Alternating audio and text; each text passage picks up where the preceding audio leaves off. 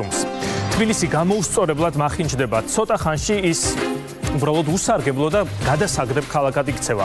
უმასშტაბო მშენებლობები სამუდამოდ ასახიჩრებს урბანულ სტრუქტურას. ამდენ უზარმაზარ შენობას, რომელიც ქალაქის ყველა კუთხეში წიხლით არის ჩატენილი, ვეღარავინ დაანგრევს. სამაგიეროდ ინგრევა ისტორია, ლანდშაფტი და ჩვენი ჯანმრთელობა, ფიზიკური და ფსიქიკურიც. თქვენ ახლა ნახავთ რა მონსტრი აგვიშენა მაგალითად მილიარდერმა ექს-პრემიერმა პირდაპირ თბილისის შუაგულში, თავისუფლების მოედანზე. ეს მრავალსართულიანი უადგილო ნაგებობა, რომელიც პანორამა თბილისის ნაწილია, ვიზუალურად ჭამს ირგვლივ ყველაფერს.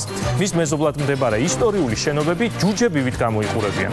მაგრამ კიდევ უფრო ცუდ დღეში აღმოჩნდნენ ის ადამიანები, რომლებიც მის გვერდით ბინადრობენ.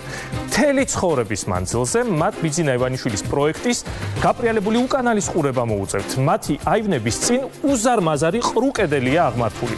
ნაგებობის დაპროექტებისას საერთოდ არ გაითვალისწინეს, რომ ირგვლივ ცოცხალი ადამიანები არსებობენ. ასე რომ ამიერიდან დედაქალაქის მთავარ მოედანზე ორი დაკლაკნილი ურჩხულია. ერთი წმინდა გიორგის ებრძვის